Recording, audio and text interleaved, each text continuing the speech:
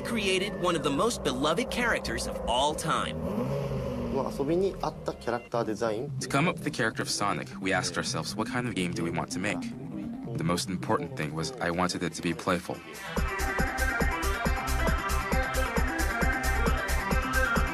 Blast processing.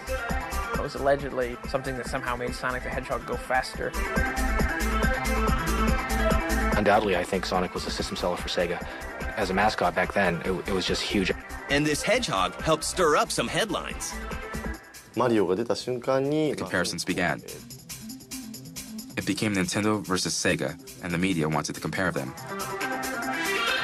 The lack of long term success of the Dreamcast was kind of a disappointment. In some ways, it was a self fulfilling prophecy. I think everyone was a bit shocked at first that, that Nintendo and Sega had finally joined forces since they were mortal enemies for 10, 15 years. I'd like to change. I'd like to move forward. Meet the man behind Sonic, Yuji Naka. He has lots of childlike qualities, which I think translates into his games. マイ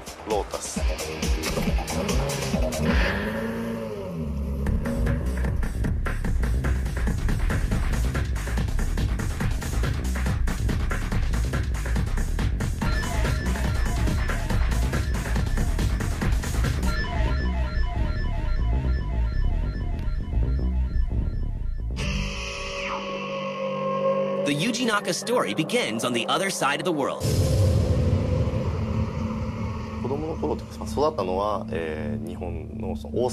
well, when I was a child, I grew up in a place in Japan called Osaka up until I was 18. In terms of creativity, I like many things. I like cars, games, theme parks, everything. It's from all these things that I've been influenced. Well, I don't think I was too smart. I wasn't able to go to college. So after graduating from high school, I had to look for a job, and there were many candidates I targeted. They weren't looking for people, whereas Sega was. I lived in Osaka and I wanted to move to Tokyo, so I applied to Sega and they took me. The 18 year old entrepreneur goes to work on his first game for Sega, a game company already established thanks to arcade titles like Zaxxon. 1984 was when I joined Sega. Girls Garden was the first game I was involved with. I was a programmer. It was the first game I worked on for the SG-1000. In 1986, Sega introduces a brand new console, the Sega Master System. Naka works on games like F-16 Fighting Falcon. The Master System, I thought at the time, you know, back then uh, I certainly wasn't working in the game industry. I was just a you know kid playing video games like everyone else. But I felt that that box, the level of sophistication that it kind of oozed out of it, was just a lot cooler than like Atari or, or Coleco. The F-16 Fighting Falcon game was back then, given the limited things he had to work with, I would say was, was very, very realistic for the time. And if you went back and played it now, I think you have the same feeling. And Phantasy Star, a role playing game filled with solid quests and masterful stories. I think at the time, Phantasy Star was was a fairly different type of kind of RPG, and I, I don't think we can say that now. You know, but the games coming out, you know, a lot of them are, seem to be similar, or a lot of the things uh, borrow concepts from from one another. But I think back then it was just very fresh, made you want to play it over and over again. Phantasy Star 2 was released in 1989 and features an inventive storyline and realistic graphics with the power of Sega's new 16 bit console, the Genesis. I was clearly a Genesis guy. If it weren't for the Genesis, I wouldn't even be in the video game industry. Nintendo releases their own console, the Super NES, and a rivalry is born. Yeah, the 16-bit console wars. I mean, that was a sort of a famous era in video games because you had Nintendo kind of unwilling to release a successor to the NES. They didn't want to shoot that golden goose that was already still laying golden eggs. And unfortunately for them, that gave Sega just kind of a very small challenger an opportunity to like come in with the Genesis. For the Super NES, Nintendo introduces a series of games featuring Mario, created by Shigeru Miyamoto. The series becomes wildly popular. Naka begins collaborating with character designer Oshima and has an idea he hopes can compete with the Little Plumber. To come up with the character of Sonic, we asked ourselves what kind of game do we want to make? Back then, Mario existed and he jumped a lot, jumping and hitting blocks.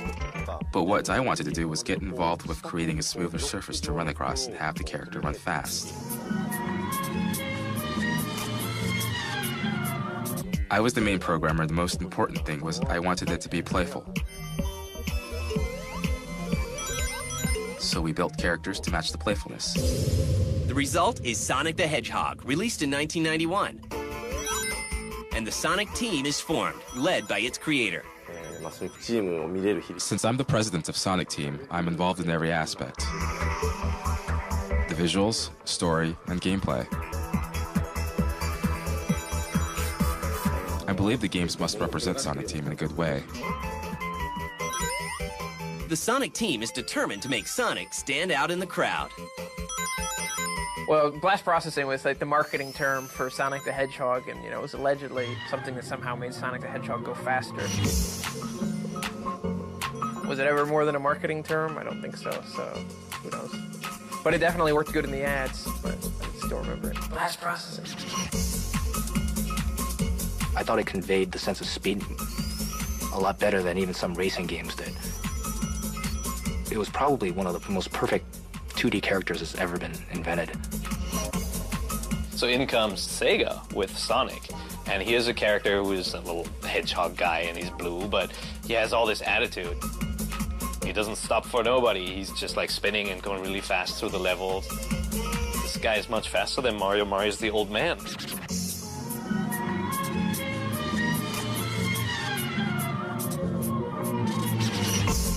Undoubtedly, I think Sonic was a system seller for Sega. As a mascot back then, it was just huge. And it's just the beginning.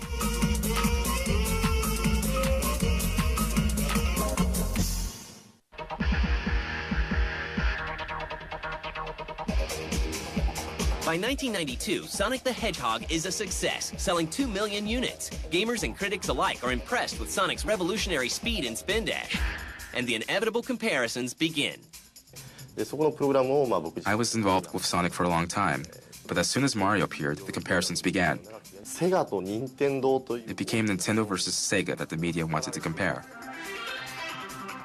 Uh, and Sega decided, well, Nintendo has the kid audience.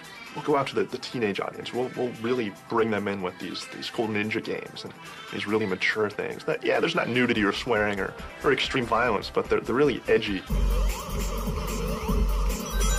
When you look at all the other stuff that was coming out during the 16-bit era. Sega at that time introduced some really innovative marketing, kind of like the shock tactics marketing that just had never been done in games before. It was amazing. And every player, you know, nobody had two consoles. You know, everybody had one or the other. And you're either a Sega fan or a Super Nintendo fan. And you either said like, Sonic sucks, Mario rules, or Sonic rules, Mario sucks. Sega really capitalized on that that whole you know speed feel and said this guy is much faster than Mario, and it worked. in the US, the Genesis outsold the Super Nintendo, which was amazing, based on the success of games like Sonic. But Naka simply shrugs it off. The contents of the game, the direction, those were totally different. So as far as I'm concerned, the comparison was wrong, and I think that was a misunderstanding. I don't want there to be anything bad between us, so while we are on good terms, and I can work on not keeping a distance, that would be great. We are good friends. Naka quickly goes to work on a sequel and heads west to collaborate with American development teams. From 1991 to 1994, I lived in San Francisco.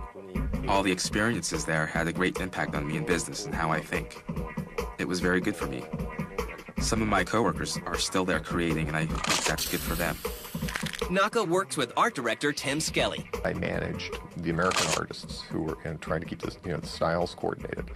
Um, most of the artwork was done by by one little guy who who lived in his cubicle. Literally, he would had to crawl into it in the mornings.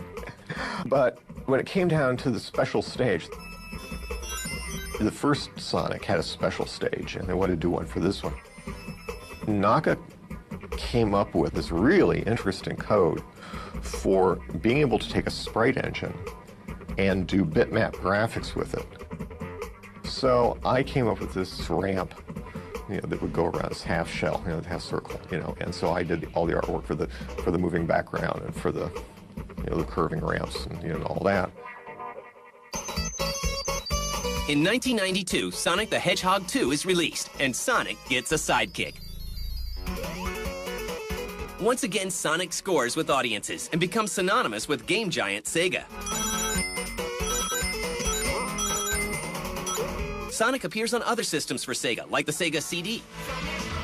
With Sonic, I think there's also the attitude. I think that helps a lot. And being the first, you know, it's easy to copy, but, you know, like Elvis is Elvis, you know, you got to go with that. And I think that has a lot to do with, you know, the success of Sonic. And they've been pretty careful about, you know, protecting, you know, the character. By 1994, Naka returns to Japan to work on more games, like Phantasy Star 4, End of the Millennium. And Sonic the Hedgehog 3 is released with a new character, Knuckles. Meanwhile, the Sega CD isn't faring so well. But I, I think you have to just make things easy for the for the consumer, and it just wasn't a very easy piece. Um, it wasn't. I, I- don't think. I think if they, Sega had to do it all over again, of course they would do it a different way. But it was just not. I don't think holistically thought out, and uh, I think it's been. You know, the business reasons have been gone through at at you know just ad nauseum. But you know, the bottom line is it wasn't easy for the consumer. And hopes are high in 1995 when Sega introduces the Saturn, its 32-bit console, to compete with the Nintendo 64 and Mario. Well, Nintendo had, you know, Mario, this short, stubby plumber that, you know, walked around at a brisk pace and, and jumped on Goombas and, you know, on turtle shells. And, and Sega had the, the differing opinion. Like in Sonic's just zooming through levels. And as Sonic progressed, that's what he got more into, was just going through at lightning fast speeds. All these amazing looking levels that you didn't ever get to admire. You didn't ever get to, to take in the beauty of them. You know, like, yeah, the, the speed was impressive. Even more impressive are other games Naka and Sonic Team create. Like NiGHTS in 1996. I, I know the NiGHTS is, is, is a cult favorite amongst a lot of a lot of uh, gamers and developers alike. Sega launches a reported $10 million campaign behind its 3D answer to Mario 64. Although NiGHTS gets great reviews, the buzz doesn't translate into sales. I think it's one of the most sought after, uh, most requested games for a sequel.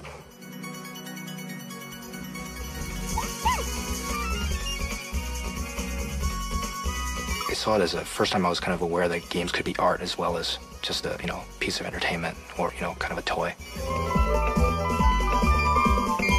まあ、ソニックチーム100人ぐらいしかいませんので。Sonic Team consists of only 100 people. Even if we want to come up with a sequel, there's so many other products we have to create, and I guess NiGHTS is suffering. But then I'm not thinking never again. It's not like if I had the chance, I would make it. The new NiGHTS proposal, we came up with that, and we have been consulting, but we haven't made a final decision or determination. More Sonic games follow, and in 1998, Sonic Team tries something new with Burning Rangers, an elite search and rescue team equipped to handle life-threatening missions. As a part of Sonic Team, we wanted to stay away from violence. So the firefighters rescue, that was the basis, the theme. And European or American kids, if you ask them what they want to be when they grow up, they want to be a firefighter. Many of them want to be firefighters. From there, I thought rescuing other people would be great in a game. So that's what the Burning Rangers was. Despite best efforts by Naka and his team, the Saturn succumbs to the Sony PlayStation. I know that a lot of retailers weren't happy with um, the direction that, that Sega took with the Saturn, and, and that's all kind of well documented and things like that. I, you know, I, I just think, well, it's unfashionable to say luck. I don't think it's a lot of luck involved, but I think market timing was really right for Sony at, at the time, and, and they, they put out a, a superior offering. Clearly, you know, more people just bought their system. But don't count Sonic out just yet, as he shows up in the unlikeliest of places. Huh?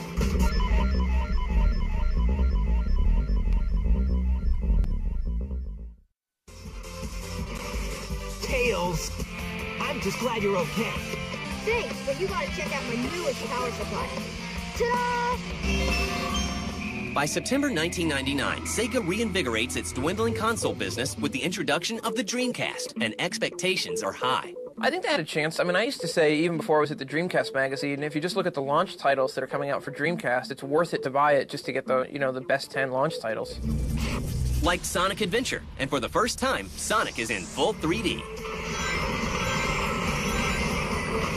Think Sonic was the perfect character for the 2D world and the way the game was designed. I think Mario probably had a little bit more longevity in the 3D world. We really, you know, I mean, we were in love with Mario before, but when Mario 64 came out, we really fell in love with Mario. The 3D brought a whole other aspect to him that made his character so much more complex than it was as a 2D character. I think the same can be said about Sonic and, in when he moved from 2D to 3D. The Dreamcast was an awesome system. They had awesome games coming out for years. And Naka certainly delivers. In 2000, he delights his fans with ChuChu Rocket. And the maraca shaking Samba de Amigo.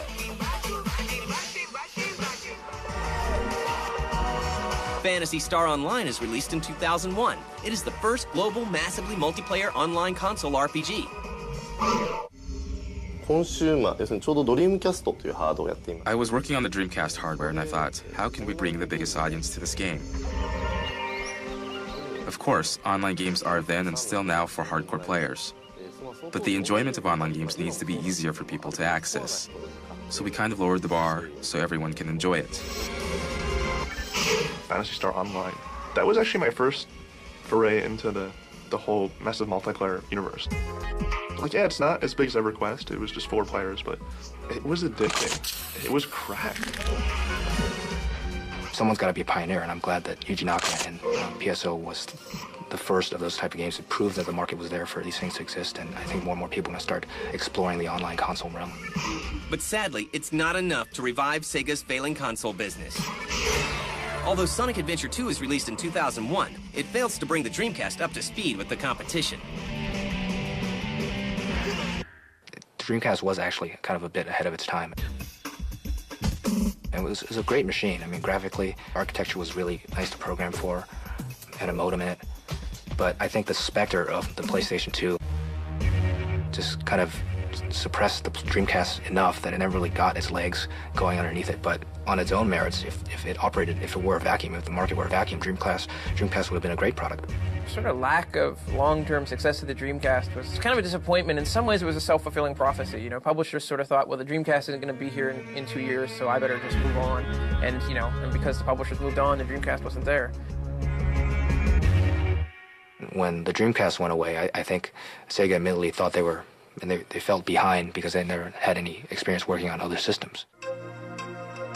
But there are formidable talent there and a lot of creative people who I think will only bring the company to newer and bigger heights as, as a software maker. And that's exactly what they do. Naka and Sonic Team bring his memorable characters to the new hardware systems. Hey, you will not believe this new GameCube. It's so wild. その僕は20年間ゲームを開発してきてるんですけど over the last 20 years, I've been involved in developing games. During that time, Nintendo has been our rival. And I thought one of these days will the games I create be played on Nintendo? And then after Sega moved away from hardware, I thought about this all along just after Dreamcast went away. And soon after, Nintendo GameCube was introduced. I began to create for that. So we focused on the GameCube. Like Sonic Adventure 2 Battle for the GameCube. That same year, Phantasy Star Online 1 and 2 are released for both the GameCube and Xbox.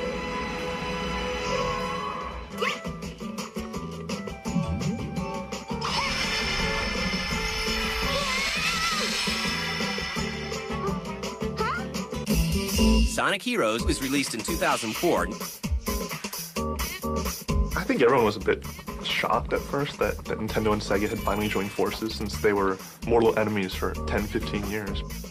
In a roundabout sense, it all makes sense now. And now they've realized, well, we're, we're better off doing things like Sonic and making games like F-Zero, so I think it's a good team. You know, Sonic's for, was meant to be for everyone, and, and you know, I guess it's just apropos that he's on all, all the platforms now. Eh, well, Miyamoto in various media interviews has said he likes my work, and I'm very happy to hear that. In the world of games, he is almost a god, so when someone like that praises a game I worked on, I'm really happy to hear that. Please join me in honoring Yuji Naka. In 2002, Yuji Naka is awarded for his contribution to the game industry by his peers. He's given the prestigious Lifetime Achievement Award from the IGDA at the second annual Game Developers Choice Awards. I would like to thank Sega, who has granted me the freedom and the resources to make my visions a reality. And I remember when um, Nakasan received his award that night, um, he was literally skipping, like back to the hotel. It's rare to see a grown man skip, but I remember one of his assistants telling me, "Yeah, you know, I've never seen him this happy, you know, in his life." that challenged me to do good work.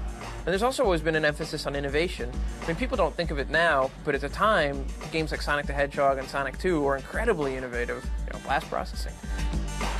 Samba de Amigo and, and Phantasy Star Online and ChuChu, you know, above all Sonic, I think they've made an indelible impression and really contributed culturally to what video games are as an art form. I'd like to thank the gamers because after all, that is what this industry is really about. I think developers recognize how innovative and how forward-thinking Yuji Naka and his team are and how much they've contributed to our industry. He has lots of childlike qualities, which I think translates into his games. Like any great creator, he's always looking about the next place he can bring his art and raise his game. Really brought our industry where it is today, and hopefully bring it into the future too. I'm now the senior director of the creative department of Sega. I oversee development in many areas. I'd like to change. I'd like to move forward.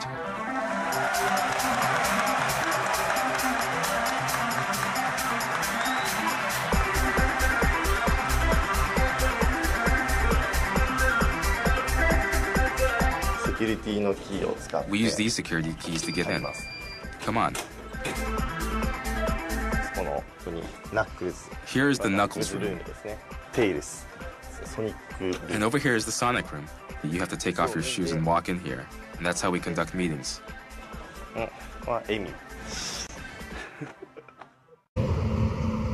子供の頃とか育ったのは、えー、日本のその大阪っていう Well, when I was a child, I grew up in a place in Japan called Osaka up until I was 18. In terms of creativity, I like many things. I like cars, games, theme parks, everything. It's from all these things that I've been influenced. Well, I don't think I was too smart. I wasn't able to go to college. So after graduating from high school, I had to look for a job, and there were many candidates I targeted. They weren't looking for people, whereas Sega was. I lived in Osaka and I wanted to move to Tokyo, so I applied to Sega and they took me.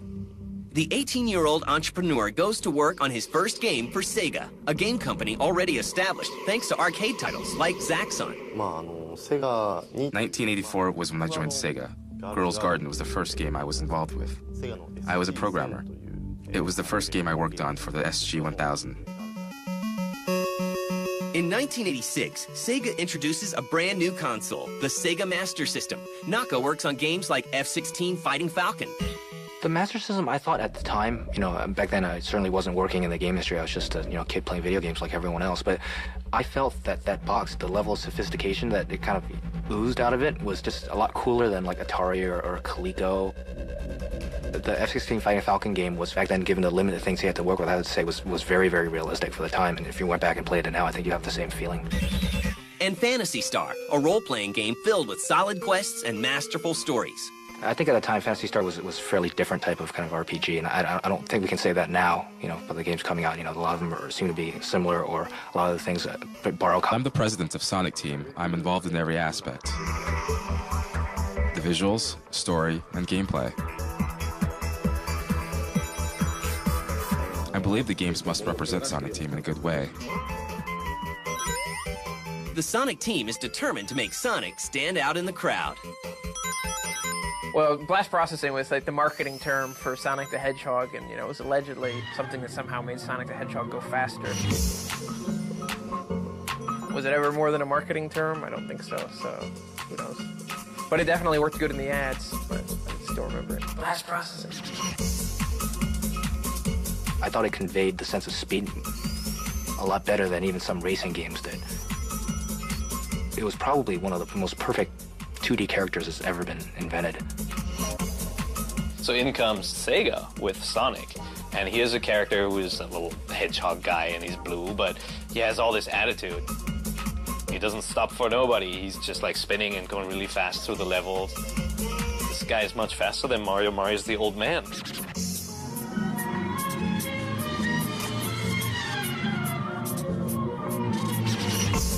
undoubtedly, I think Sonic was a system seller for Sega. As a mascot back then, it was just huge. And it's just the beginning.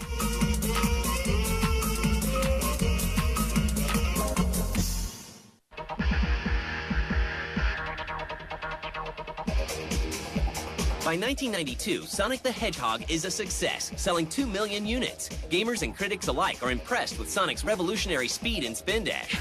And the inevitable comparisons begin. I was involved with Sonic for a long time, but as soon as Mario appeared, the comparisons began. It became Nintendo versus Sega that the media wanted to compare. Uh, and Sega decided, well, Nintendo has the kid audience. We'll go after the, the teenage audience. We'll, we'll really bring them in with these, these cool ninja games and these really mature things. That, yeah, there's not nudity or swearing or, or extreme violence, but they're, they're really edgy. When you look at all the other stuff that was coming out during the 16-bit era, Sega at that time introduced some really innovative marketing, kind of like the shock tactics marketing that just had never been done in games before. It was amazing. And every player, you know, nobody had two consoles. You know, everybody had one or the other. And you're either a Sega fan or a Super Nintendo fan. And you either said, like, Sonic sucks Mario rules, or Sonic rules Mario sucks. Sega really capitalized on that that whole you know speed feel and said this guy is much faster than Mario, and it worked. in the US, the Genesis outsold the Super Nintendo, which was amazing, based on the success of games like Sonic. But Naka simply shrugs it off. The contents of the game, the direction, those were totally different. So as far as I'm concerned, the comparison was wrong, and I think that was a misunderstanding. I don't want there to be anything bad between us, so while we are on good terms, and I can work on not keeping a distance, that would be great. We are good friends. Naka quickly goes to work on a sequel and heads west to collaborate with American development teams. From 1991 to 1994, I lived in San Francisco. All the experiences there had a great impact on me in business and how I think. It was very good for me. Concepts from, from one another, but I think back then it was just very fresh. Made you want to play it over and over again. Phantasy Star 2 was released in 1989 and features an inventive storyline and realistic graphics with the power of Sega's new 16-bit console, the Genesis. I was clearly a Genesis guy. If it weren't for the Genesis, I wouldn't even be in the video game industry. Nintendo releases their own console, the Super NES, and a rivalry is born. Yeah, the 16-bit console wars. I mean, that was a sort of famous era in video games because you had Nintendo kind of unwilling to release a successor to the NES. They didn't want to shoot that golden goose that was already still laying golden eggs. And unfortunately for them, that gave Sega, just kind of a very small challenger, an opportunity to like come in with the Genesis. For the Super NES, Nintendo introduces a series of games featuring Mario, created by Shigeru Miyamoto. The series becomes wildly popular.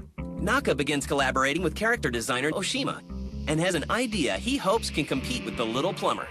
To come up with the character of Sonic, we asked ourselves what kind of game do we want to make? Back then, Mario existed and he jumped a lot, jumping and hitting blocks. But what I wanted to do was get involved with creating a smoother surface to run across and have the character run fast. I was the main programmer, the most important thing was I wanted it to be playful. so we built characters to match the playfulness. The result is Sonic the Hedgehog, released in 1991. And the Sonic team is formed, led by its creator. Since he created one of the most beloved characters of all time. To come up with the character of Sonic, we asked ourselves what kind of game do we want to make? The most important thing was I wanted it to be playful.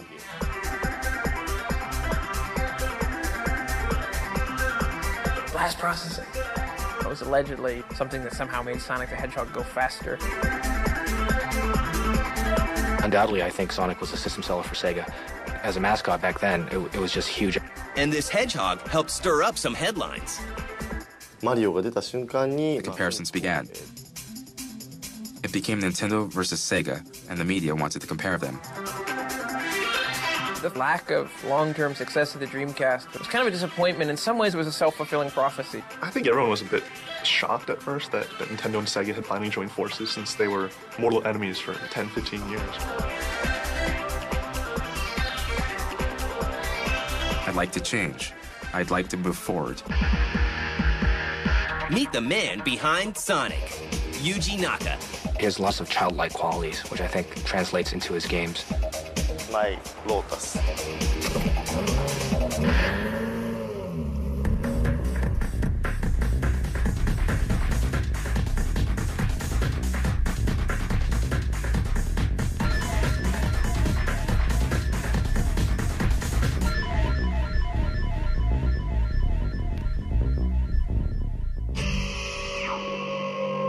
The Yuji Naka story begins on the other side of the world.